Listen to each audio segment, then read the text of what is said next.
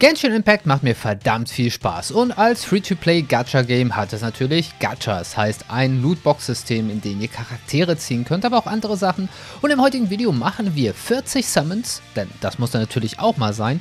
Und dabei erkläre ich euch auch ein bisschen, was für Art Summons ihr machen könntet, solltet, was der Vorteil und Nachteil ist und auch welcher Banner aktuell sich eventuell lohnen könnte. Hm, moin moin Leute, mein Name ist Rephaser und ich heiße euch herzlich willkommen zu einem neuen Genshin Impact Video. Wie gesagt, heute geht es um Summons und deswegen gehen wir auch direkt in die Gebete rein. Ich kann euch nur sagen, Genshin Impact ist gerade am Anfang sehr großzügig mit dieser Währung hier, die ihr benötigt. Das heißt, ihr könnt vieles erfahren. Spielt die Story, entdeckt die Welt. Das Spiel bietet wirklich unglaublich viele Sachen und ihr müsst kein Geld investieren, großartig. Ihr müsst auch nicht direkt am Anfang sämtliche Einheiten ziehen. Ich habe euch auch in einem Video schon gezeigt, wie ihr sechs gute Charaktere kostenlos bekommen könnt. Aktuell haben wir drei Banner. Einmal den Wanderlust-Banner, einmal das göttliche Werk-Banner und einmal Balladen in Bechern-Banner. An sich könnt ihr euch immer anschauen, was diese Banner haben. Göttliches Werkbanner ist für mich gerade sehr uninteressant. Dort gibt es zwar sehr, sehr gute Waffen, aber ich bin noch nicht High-Level genug. Ich habe ein paar gute 4-Sterne-Waffen ähm, im Spiel sogar bekommen und ich hatte auch sogar Glück und habe in einem normalen Banner eine 5-Sterne-Waffe gezogen und die habe ich jetzt bei Jean zum Beispiel drin, die ich auch glücklicherweise gezogen habe. Ich habe aber Diluc noch nicht, was einer der besten Charaktere aktuell ist. Das heißt, den hätte ich gerne und ich hatte auch Glück und habe Venti bekommen. Aber in welchem Banner solltet ihr ziehen? Grundsätzlich könnt ihr euch die Banner unter Details immer anschauen. Es ist wichtig, denn dort sind viele Informationen versteckt. Zum einen, dieser Balladen im Becher-Banner hat höhere Wahrscheinlichkeiten für 5-Sterne-Objekte und auch für 4-Sterne-Objekte. Wahrscheinlichkeit für 4-Sterne-Objekte 50%, Wahrscheinlichkeit für 5-Sterne-Objekte 50%. Und es ist eine zeitlich begrenzte ähm, Aktion. In diesem Banner sind diese vier Charaktere mit höherer Wahrscheinlichkeit vorhanden. Das heißt zum einen Venti, Fischl, Xianling und Barbara. Das heißt aber nicht, dass die anderen Charaktere nicht drin sind. Denn wenn ihr ein bisschen weiter runter geht, seht ihr, was sind denn jetzt aktuell drin. Zum einen haben wir hier 5 Sterne Objekte. Die Basiswahrscheinlichkeit ist 0,6%, 1,6% mit Garantie. Was bedeutet Garantie? Ihr habt bei Genshin Impact alle 10 Pulls einen hundertprozentigen mindestens 4 Sterne Pull. Garantie heißt von diesen 100% 1,6% könnten ein 5 Sterne Pull sein. Also, wir haben in dem Banner ist zum einen Venti drin mit einer höheren Wahrscheinlichkeit, dann haben wir Mona, Diluc, äh, King, Kiki und Jean. Dann haben wir in diesem Banner auch weitere 4-Sterne-Charaktere. Und 4 Sterne heißt nicht unbedingt schlecht. Das müsst ihr euch von anderen äh, Spielen ein bisschen ähm, ja, vergessen. Denn 4-Sterne-Charaktere hier sind auch gut. Grundsätzlich sind fast alle Charaktere gut, bis auf Amber, die ist halt kacke. Äh, wir haben hier Fischl, Barbara und Xianling mit höherer Wahrscheinlichkeit. Wir haben Sakarose, Shongyung, Noel, Bennett, Ningguang, Link Guang, äh, Xinkyu und Baidu. Und sogar Razer. Das heißt, wir haben eigentlich so gut wie alle Charaktere sind in diesem Banner auch vorhanden. Ihr habt nur eine höhere Wahrscheinlichkeit, diese drei Charaktere zu bekommen. Und dann gibt es auch natürlich eine Menge Waffen und dann gibt es auch noch die drei Sterne-Objekte, sind alle mit drin. Also, grundsätzlich, wenn ihr sagt, ihr wollt einfach nur einen Charakter haben, ist der Balladen in Becher Banner wahrscheinlich die bessere Wahl, weil ihr definitiv eine höhere Wahrscheinlichkeit habt, eins von diesen vier Charakteren zu bekommen. Und was daran interessant ist, Venti ist ein sehr, sehr guter Charakter, ähm, ähm, Anemo mit ähm, Bogen. Fischl ist einer der besten Charaktere mit, also ein S-Tier-Charakter, wie er so genannt wird im Spiel. Auch Bogen, Elektro.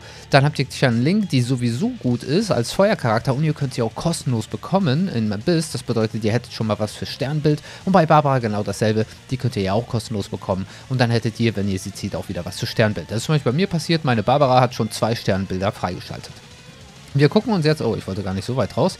Wir gucken uns jetzt aber natürlich auch den anderen Banner an, denn hier würde man ja denken, ey, okay, die Charaktere sind äh, deutlich stärker vorhanden, weil sie hier auf dem, ähm, ja, auf dem Cover sind. Und hier steht es auch wieder, alle Tensionen erhältst du, mindestens, erhältst du sicher Objekte mit mindestens vier Sternen.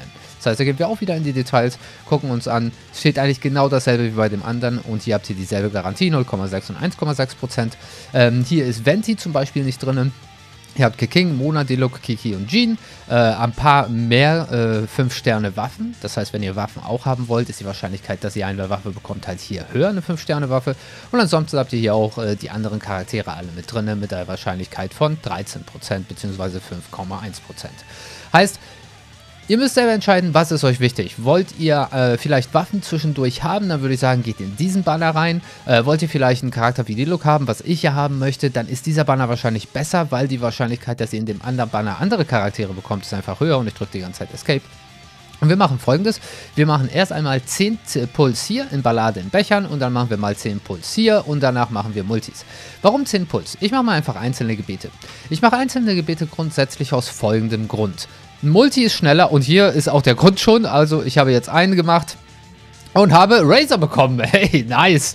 Äh, das ist gut, weil ich Razer spiele, ist aktuell in meinem Main-Team mit drin äh, und ich habe ihn schon. Das heißt, ich habe jetzt das hier bekommen, Stellar Fortuna von Razer. Damit könnt ihr das Sternbild von Razer erweitern, das heißt neue Talente bei ihm freischalten, also sozusagen einen Dupe machen und ihr bekommt herrenloses Sternglanz, was so eine andere Währung ist. Äh, einfach dafür, dass ihr ihn gezogen habt. Ähm, und jetzt das ist ein gutes Beispiel, weil jetzt ist die Wahrscheinlichkeit wieder bei, oder die äh, Anzahl wieder bei 0. Bedeutet, in den nächsten 10 Puls bekomme ich mindestens ein 4-Sterne-Objekt. Wenn ich einen Multi mache, ziehe ich die Puls einfach durch. Aber hier könnte ich dann auch, wenn ich mein 4 ähm, oder 5-Sterne-Objekt gezogen habe, mit dem einzelnen Pull einfach sagen, okay, ich habe genug. Und diese 10 gelten nicht nur für Multis, sondern auch für einzelne Gebete. Natürlich ist es ein bisschen anstrengender, die ganze Zeit Einzelgebete zu machen. Dauert ein bisschen länger, die Animation kann zwar übersprungen werden, aber ihr müsst hier doppelt klicken, ist ein bisschen blöd, dann sehe ich es genauso schnell. Also ein 3-Sterne-Bogen, mir irrelevant. So, dann sind wir jetzt bei 3 und da muss man mitzählen, das ist ja noch schlimmer. Das konnte ich bei Dokkan Battle schon die ganze Zeit nicht. Auch hier wieder nichts, blau, 3 Sterne, interessiert mich nicht. Also als 3-Sterne-Waffen interessieren mich aktuell wenig, weil ich für fast alle meine Hauptcharaktere, die ich spiele, 4-Sterne-Waffen habe. Aber 3-Sterne-Waffen können durchaus gut sein. Wenn ihr sie oft zieht zum Beispiel, könnt ihr diese Waffe verfeinern. Das heißt, ihr erhöht ihre Nebentalente, was durchaus richtig gut sein kann. Da kann so eine 3-Sterne-Waffe auf Max-Level mit, äh, mit Level 5 Verfeinerung sogar besser sein als eine 4-Sterne-Waffe ohne Verfeinerung. Das heißt, ihr müsst immer so ein bisschen schauen, okay, äh, was ist euch jetzt wichtig, beziehungsweise ähm, was habt ihr für Waffen gezogen und macht das vielleicht auch ein bisschen Sinn. Ich kann euch das vielleicht gleich ganz kurz zeigen. So, ich, ich habe jetzt natürlich nicht mitgezählt. Ich mache einfach mal, bis jetzt mein 4-Sterne-Pull kommt. Äh, gefühlt wird er wahrscheinlich natürlich am 10. kommen. Das heißt, da hätte ich auch gleich ein Multi machen können. So, Himmelsflug Schwert, sehr schön. Brauche ich auch nicht. Ich glaube, ich war bei 5000. Und wieder blau, also wieder drei Sterne. Yep. Und ja, das wird jetzt der letzte sein in diesem Banner. Ja, und da ist, ja, natürlich ist jetzt mein 4 Sterne äh, mit dabei. Und das ist Xianling wieder. Also, ihr habt gesehen, Razer war nicht äh, verbessert. Also war nicht eine höhere Wahrscheinlichkeit, aber Xianling hat eine höhere Wahrscheinlichkeit. Und hier haben wir wieder fürs Sternbild. Und bevor wir weitermachen, kann ich ja vielleicht direkt ins Sternbild rein. Ich habe ja Xianling und Razer hier. Ihr seht, wird auch gezeigt. Sternbild ist halt das Dupe-System. Ich kann jetzt halt den ersten bei äh, Razer freischalten. Das sind Wolfsinstinkte. Erhöht den von Razer verursachten Schaden beim Erhalten von Elementalkristallen oder Elementarteilchen 8 Sekunden lang um 10%. Das bedeutet, wenn der Gegner halt so ein Element fallen lässt und ihr das aufsammelt, werdet ihr 8 Sekunden lang 10% mehr Schaden machen, was durchaus gut ist. Bei Xianling, seht ihr, habe ich schon zwei, äh, zwei äh, Sternbilder äh, freischalten können. Äh, einmal verringert den Pyro-Widerstand der von Guoba getroffenen Gegner 6 äh, Sekunden lang um 15, also von ihren aufgestellten Bär. Das ist schon mal ganz cool, das heißt, sie machen mehr Schaden. Für, der zweite ist für Gegner mit dem letzten Schlag des Standardsangriffs zwei Sekunden lang den Effekt Implosion zu. Die Implosion tritt am Ende der Wirkungsdauer in Kraft und verursacht Pyro-Flächenschaden in Höhe von 75% Angriff. Auch sehr gut. Und jetzt scharf angebraten, erhöht die Stufe der Fähigkeit. Äh, ja, dann aktivieren wir mal. Das hier ist nicht so... Ja, aber von welcher Fähigkeit? Scharf angebraten? Ach, ich glaube, das ist eins von ihren Talenten, oder? Talente? Äh, nein. Ich habe keine Ahnung, was das war. Also die Übersetzung ist hier teilweise echt noch nicht so dolle. Was machst du? Erhöht die Stufe der Fähigkeit. Ja, ist schon klar, aber... Aber was? das hier hat irgendwas mit ihrer... Ja, erhöht die Stufe der Fähigkeit. Dem Zeichen nach zu urteilen, würde ich sagen, ist es das Feuerrad. Ja, das ist jetzt auf Stufe 4.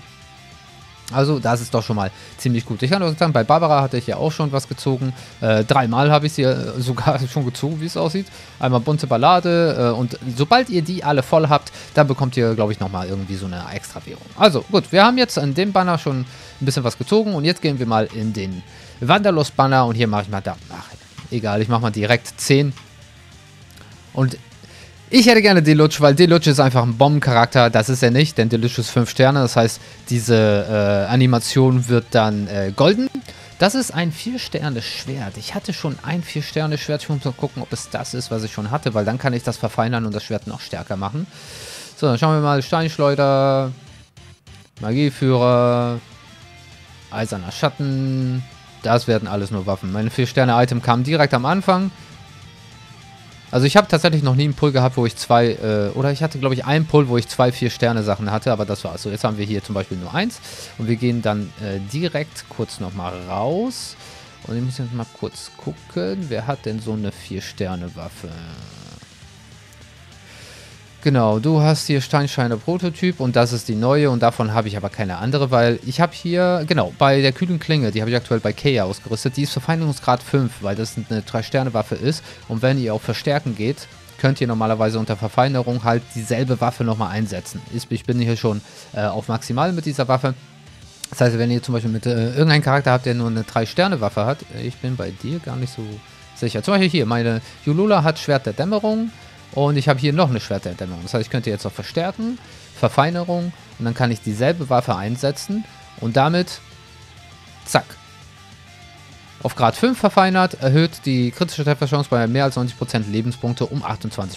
Das heißt, es gibt halt noch mal so ein paar ähm, extra Attribute, die durchaus gut sein können, falls ihr eben noch keine äh, 4 Sterne oder 5 Sterne Waffe habt, die ihr besser findet. Okay, dann gehen wir nochmal rein. Ich mache nochmal ein Multi, auch wenn ich euch gesagt habe, Singles machen auch mehr Sinn. Es geht nur darum, ihr müsst jetzt nicht unbedingt die ganze Zeit Multis machen. Diese 10 Puls gelten für immer. Okay, gleich der erste wieder 4 Sterne, also 10. Das ist, oh, sehr nice. Das ist Fischl. Die, die wollte ich sowieso haben. Sehr guter Elektro-Charakter. Passt in mein Team, glaube ich, auch gerade extrem gut rein. Aber jetzt muss ich anfangen, Materialien zu farmen, damit ich sie auch tatsächlich hochleveln kann. Auch hier das, äh, die Information. Fokussiert euch auf maximal zwei Charaktere, während ihr die Story spielt und ihr gerade am Entdecken seid. Denn viel mehr werdet ihr äh, nicht machen können. Dafür braucht ihr einfach viel zu viele Materialien mit der Zeit. Und, oh, noch Glocke. Vier Sterne, Zweihänderwaffe. Okay, das ist nice, aber kein Deluge. Kein Deluge. Und bei der Glocke bin ich mir gerade nicht sicher. Ich muss mal eben kurz gucken. Ich mach, Razer, was hast du für eine Waffe? Sag mir, es ist die Glocke. Es ist die Glocke. Sehr schön. Das heißt, ich kann sie jetzt verfeinern. So. Und jetzt haben wir alles verbessert. Es stellt beim Erleiden von Schaden ein Schutzschild mit einer Stärke von 23% der maximalen LP, hält so lange, bis die Schadensmenge erreicht ist, aber maximal 10 Sekunden, 45 Sekunden Abklingzeit, erhöht den verursachten Schaden der Figur während der Wirkungsdauer um 15%. Das ist ziemlich cool. Eigentlich ist es die Glocke dann eher eine ähm, Waffe für einen Tank. Ähm, aber ich nehme es trotzdem. Und wir haben Fische bekommen. Das ist sehr cool. Level 1, oh nein, ich muss dich erstmal verbessern. Aber ich habe eine Waffe zumindest. Waffenmäßig müsste ich zumindest was Gutes haben. Yep, ich habe die, den hat Dings gerade Venti ausgerüstet und den hat Amber ausgerüstet. Amber, äh, dann geben wir dir mal die hier, damit ich jetzt wechsle und du gleich die von Amber bekommst. Ja, ja. Das ist Opferbogen, weil Amber ein Opfer ist und keiner Amber... Also Amber tut mir echt leid, ihre Skills sind einfach nur so schlecht. So, jetzt haben wir noch ein paar einzelne, die wir am Ende noch machen. Und in der Frage, kann, äh, währenddessen kann ich euch natürlich fragen, was haltet ihr vom Gacha-System? Hattet ihr schon ein bisschen Glück? Gibt es einen Charakter, wo ihr sagt, hey, darauf äh, ähm, seid ihr am meisten scharf und darauf äh, spielt ihr gerade und farmt gerade äh, Währung, damit ihr dann ein bisschen was bekommt. Könnt ihr mir gerne unten reinschreiben. Ich werde jetzt halt meine Währung komplett ausnutzen. Mein Urgestein. Urgestein heißt es. Ich muss mir das mit den Währungen nochmal merken. So, und natürlich habe ich äh, jetzt zwei Items bekommen. Das heißt, das Ganze ging wieder von vorne los für die garantierten vier Sterne. Und ich werde es jetzt wahrscheinlich... Ich kann noch... Ja, nur noch zwei machen. Ein Deluge am Ende wäre schon ziemlich geil. Nope. Drachenblutschwert. Und das letzte. Hm, nix. Oh, hätte das Video auch richtig gut enden können.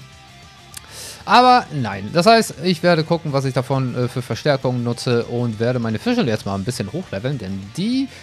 Ah, jetzt bin ich überlegen, ob ich sie gegen Razer austausche. Weil zweimal Blitz ist an, an sich ein bisschen Overkill.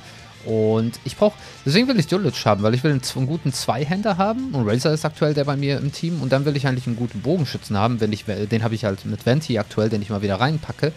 Aber ja, ich werde mal schauen, was ich mache. Also im Großen und Ganzen, ich freue mich auf dieses Spiel. Ich habe gerade aktuell richtig Spaß daran. Und ihr könnt mir gerne eure Kommentare und Meinungen unten reinschreiben. Und euch selbstverständlich gerne mein letztes hochgeladenes Video oder einen von meinen Playlists anschauen. Und mich auch abonnieren, falls ihr auf Anime, Anime Games und Fighting Games steht.